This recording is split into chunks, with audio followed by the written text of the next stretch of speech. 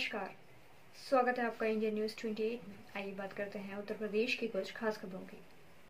उत्तर प्रदेश के बिजनौर में महाशिवरात्रि का पर्व बड़े हर्षोल्लास के साथ मनाया। बिजनौर, शेरकोट, धामपुर, नहटोर आदि नगरों में महाशिवरात्रि का पर्व बड़े ही धूमधाम से मनाया गया। शिव जी के सभी मंदिरों में श्रद्धालुओं की भारी भीड़ रही। सुबह चार बजे से ही लोगों की भीड़ जुटना शुरू हो गई थी, जो शाम तक चली।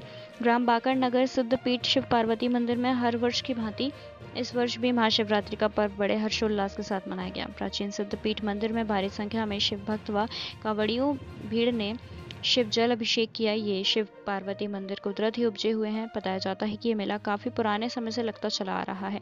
नूरपुर मार्ग स्थित गाँव बाकर नगर पाताल रोड, तोड़ शिव मंदिर पर आस्था के चलते अपनी मनोकामनाएँ पूर्ण होने पर लोग आते हैं। बताया जाता है कि पाताल तोड़ मंदिर के नीचे शिव पिंडे की मूर्ति कुदरती निकली थी, जिस पर लोग पहुंचकर मनोकामनाएँ मांगते हैं। मनोकामना पूर्ण होने पर यहाँ लोग दूर दूर से आते हैं। मार्च माह के अंतिम सप्ताह में मेले का आयोजन किया जाता है, जिसमें बड़ी संख्या में लोग पहुंचकर मनोकामनाएँ मांगते हुए प्रसाद ग्रहण करते हैं। बिजनौर जिला ब्यूरो शमीम अहमद की रिपोर्ट।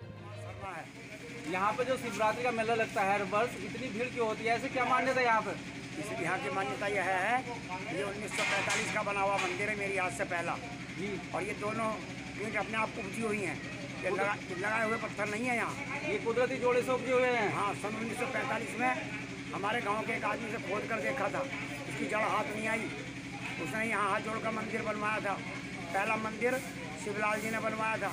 दूसरा मंदिर लल्लू सिंह जी ने बनवाया था। इसलिए दोनों कुदरती उपजा उपजा होने के कारण यहाँ पर बहुत भीड़ आती है और अटगिरती में बहुत मान्यता है। सब लोगों की मनोकामनाएँ पूर्ण होती हैं यहाँ।